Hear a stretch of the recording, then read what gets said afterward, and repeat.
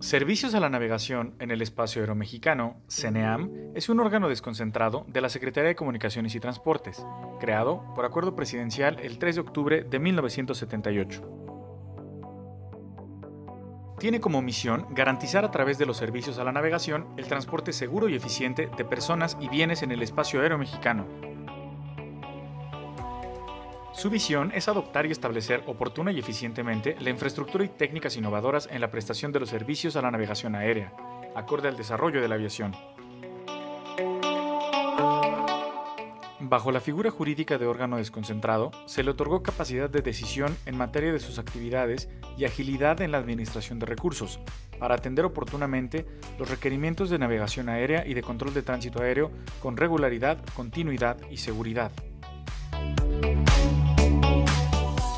CNEAM presta los siguientes servicios: Servicio Meteorológico Aeronáutico, Telecomunicaciones Aeronáuticas, Radioayudas, Comunicaciones y Vigilancia, Servicio de Información Aeronáutica y Servicio de Tránsito Aéreo. Desde el 17 de septiembre de 2007 se reconoce a CNEAM como instancia de seguridad nacional. CNEAM, Servicios de Calidad Mundial.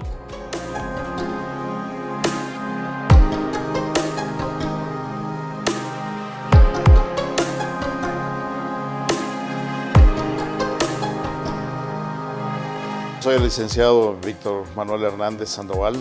Actualmente soy el director general y me ha tocado la suerte de dirigir a CENEAM en esta etapa de transformación de navegación hacia lo que estamos buscando, un organismo de clase mundial. CENEAM está encargado de todo lo que es la navegación aérea. Esto incluye control de tránsito aéreo, ingeniería de servicios, telecomunicaciones, radioayudas, vigilancia a través de sistemas radar. La construcción del aeropuerto Felipe Ángeles a mí me parece que ha sido un gran acierto en el sentido de que incrementa la capacidad aeroportuaria que ya estaba de alguna manera saturada en el Valle de México.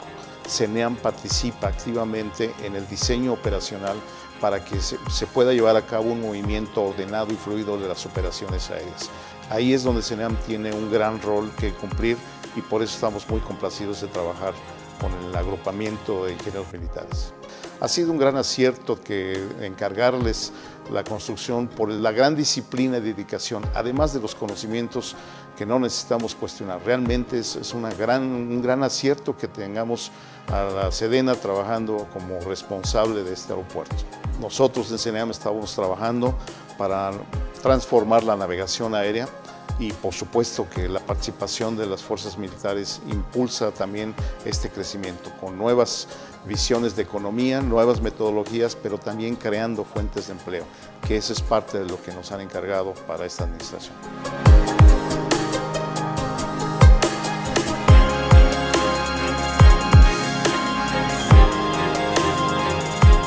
Buenos días, los ingenieros militares del agrupamiento de ingenieros Santa Lucía Felicitamos a los controladores de vuelo por el cuadragésimo segundo aniversario de la creación de lo que hoy son los servicios a la navegación en el espacio aéreo mexicano.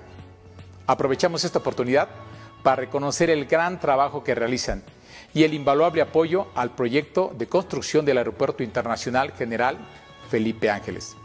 Estamos seguros que en el nuevo diseño de la arquitectura de la navegación en el Valle de México continuarán demostrando su gran capacidad y compromiso por el país.